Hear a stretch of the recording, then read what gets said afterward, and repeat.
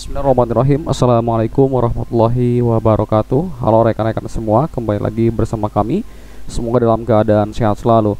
Baiklah pada kesempatan kali ini Kami akan berbagi informasi yang sangat penting Khususnya berkaitan dengan pelaksanaan seleksi P3K tahun 2024 Di mana eh, di beberapa hari yang lalu eh, Telah dilaksanakan rapat kerja bersama Komisi 2 DPR RI Dengan Kemenpan RB Kepala BKN maupun juga dengan penitia seleksi nasional lainnya.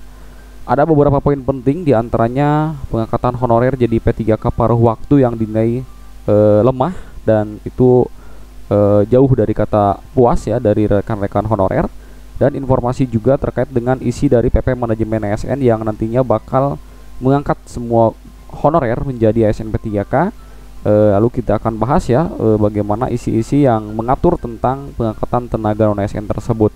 Dan untuk itu silakan simak videonya sampai selesai.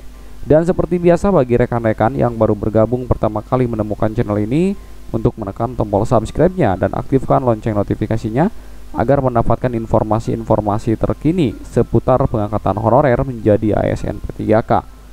Baiklah informasi yang pertama yang kami dapatkan teman-teman semuanya eh, ada beberapa uh, pasal yang menerangkan terkait dengan penataan tenaga non ASN dalam PP manajemen ASN yang nanti bakal ada konsinyering ya bersama Komisi 2 DPR RI.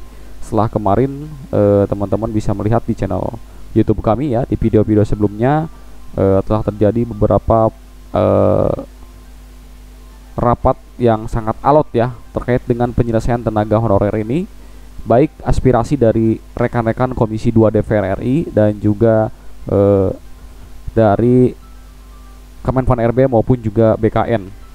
Pengangkatan honorer menjadi ASN P3K atau lebih dikenal dengan P3K ya, paruh waktu. Ini nanti ada P3K paruh waktu di beberapa poin kemarin. Itu dinilai sangat lemah dasar hukumnya.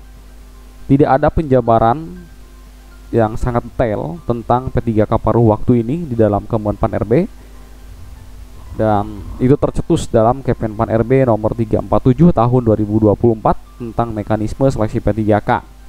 Dalam keputusan Menpan RB tersebut hanya mencantumkan satu diktum tentang P3K paruh waktu dan itu pun hanya dibilang honorer yang tidak ada formasinya bisa dipertimbangkan menjadi P3K paruh waktu.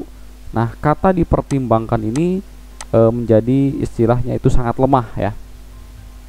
Mengapa sangat lemah ini dipertimbangkan bisa saja honorer ini tercecer tidak diangkat menjadi P3K paruh waktu. Namun bisa saja diangkat oleh pemda eh, oleh pemdanya itu. Nah, ini e, salah satu mungkin e, kelemahan dari kata dipertimbangkan tersebut. Bunyi diktum tersebut menurut Ajun itu sangat lemah dan kemungkinan besar ini bakal diabaikan oleh pemerintah daerah. Aturan yang sudah jelas pun dan terang benderang saja masih diabaikan oleh pemerintah daerah. Apalagi ini masih abu-abu. Ya, memang begitu ya. Untuk P3K sendiri eh, sudah disiapkan formasinya oleh pemerintah pusat dan itu sudah jelas ya, terang benderang namun sekali lagi ini diabaikan saja apalagi P3K per waktu yang dinilai ini eh, sangat abu-abu ya, masih abu-abu karena ada nilai dipertimbangkan. Nah, beliau juga heran mengapa Menpan RB Fa Abdul Hajar Anas menerbitkan Permenpan RB nomor 6 tahun 2024 dan ketiga Kemenpan RB terkait dengan penggunaan P3K padahal PP manajemen SM ini belum diterbitkan. Baik Permenpan RB maupun juga Kemenpan RB ini tidak menjelaskan secara terperinci mengenai penyelesaian honorer melalui P3K full time maupun juga P3K false time. beliau menegaskan Menpan RB ini sudah melanggar aturan Undang-Undang ASN sebab aturan ini telah mendahului PP manajemen ASN yang terbit. Parahnya, Permenpan RB maupun juga Kepmenpan RB tidak dijelaskan detail soal hak pensiun bagi P3K, jenjang karir dan juga lainnya. Ya jelas ya ini e, memang tidak dijelaskan detail namun kita menunggu ya. Apakah nantinya dalam PP manajemen ASN akan dijelaskan secara detail ataupun tidak dan ini tidak yakin ya pemerintah mampu menyelesaikan masalah honorer sampai dengan batas waktu yang ditentukan sesuai dengan amanat undang-undang yaitu e, Desember 2024. Dia menambahkan antara kebijakan pusat dan daerah tidak pernah sinkron sehingga yang dikorbankan yaitu ya honorer. Sebab tidak semua pemerintah daerah akan mengangkat honorer menjadi P3K paruh waktu dan penuh waktu karena itu masalah anggaran. Ya memang betul ya teman-teman 30% e, belanja dari APBD itu tidak boleh melebihi e, belanja pegawai ya. Ini yang menjadi kendala.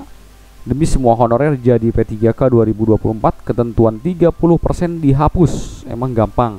Nah, ini eh, kemarin kalau tidak salah ini diungkapkan oleh Pak Mardani Alisera ya, anggota Komisi 2 DPR RI yang menjadi masalah itu adalah Pemda dinilai ya tidak mau karena sudah e, melebihi dari angka 30% seperti itu. Komisi 2 DPR RI mendesak pemerintah dalam hal ini Kemenpan RB maupun juga BKN agar mengangkat seluruh honorer menjadi P3K dengan status paruh waktu maupun juga penuh waktu. Komisi 2 DPR RI juga mengusulkan revisi Undang-Undang Nomor 1 Tahun 2022 tentang hubungan keuangan pusat dan juga daerah dengan menghapus tentuan pasal 146 yang membatasi belanja pegawai di APBD maksimal 30%. Tujuannya agar Pemda tidak tersandra dengan ketentuan 30% tersebut sehingga seluruh honorer bisa dianggap menjadi P3K. Nah, usulan tersebut tertuang dalam poin 5 kesimpulan Raker Komisi 2 dengan Kemenpan RB dan pada poin 2 kesimpulan disebut, dinyatakan bahwa terdapat sejumlah 1,7 juta orang tenaga non ASN yang terdaftar dalam database BKN yang belum diangkat menjadi P3K. Nah, Komisi 2 DPR RI meminta Kemenpan RB dan juga BKN memastikan seluruh tenaga honorer untuk dapat diangkat jadi P3K. Yang pertama, tenaga ASN yang mendaftar dan sesuai dengan formasi yang diusulkan dan langsung diangkat jadi P3K, teman-teman ya. Ini prioritas pertama. Dan yang kedua, tenaga non ASN yang mendaftar dan tidak terdapat dalam usulan formasi maka diangkat menjadi P3K paruh waktu. Nah, paruh waktu tersebut ini yang menjadi kendala ya teman-teman. Kita cermati dua poin kesimpulan rakat tersebut yang telah menebar angin surga kepada jutaan honorer. Jadi semuanya ini bakal diangkat menjadi P3K ya. Menjadi P3K paruh waktu dan juga P3K penuh waktu. Yang pertama, daerah wajib mengalokasikan belanja pegawai e, di luar tunjangan guru tentunya ya yang dialokasikan melalui TKD paling tinggi 30% dan mahal persentase belanja pegawai sebagai maksud, dimaksud pada ayat 1 telah melebihi 30% maka daerah harus menyesuaikan porsi belanja pegawai yang terhitung sejak tanggal ini diundangkan. Yang ketiga besaran persentase belanja pegawai sebagai sebagaimana dimaksud pada ayat 1 dapat disesuaikan melalui keputusan menteri setelah berkoordinasi dengan menteri yang menyelenggarakan urusan pemerintahan dalam negeri. Sudah pasti, usulan revisi Undang-Undang Nomor 20, 2022 ini tidak semudah membalikan telapak tangan. Bukan saja karena harus mendapatkan persetujuan dari Menteri Keuangan dan Menteri Dalam Negeri, kalaupun kedua menteri terkait itu setuju, tahapan revisi undang-undang juga memerlukan waktu lagi teman-teman. Ini sampai kapan ya mau diselesaikan? Sementara tahapan seleksi P3K 2024 itu akan segera dimulai. Para kepala daerah pun bakal makin pusing jika batas minimal belanja pegawai dilonggarkan lagi.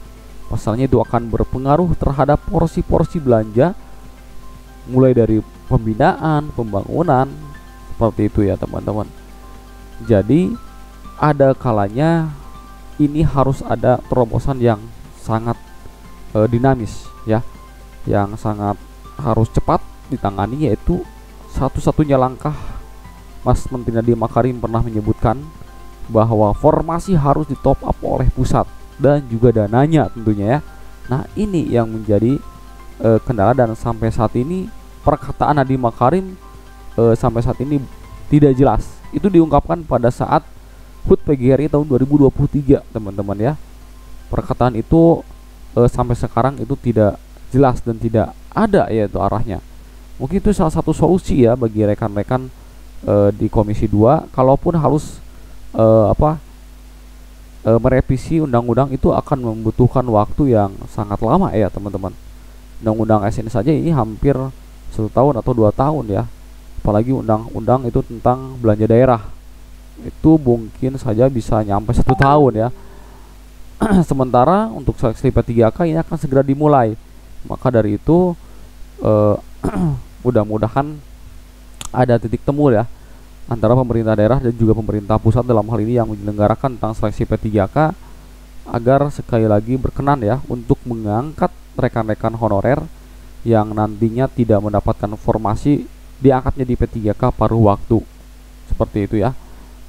Nah, untuk gajinya mudah-mudahan ini bisa diselaraskan dalam PP manajemen SN P3K. Kita tunggu action dari pemerintah maupun juga dari Komisi 2 DPR RI dan tentu kita akan pantau semuanya ya. Pro proses dan juga progresnya seperti itu. Nah, mungkin itu yang dapat kami sampaikan. Silakan teman-teman berdiskusi di kolom komentar ya e, terkait dengan hal ini dan tentunya e, dengan perkataan yang baik dan sopan ya. Wabillahi taufiq walhidayah. Assalamualaikum warahmatullahi wabarakatuh.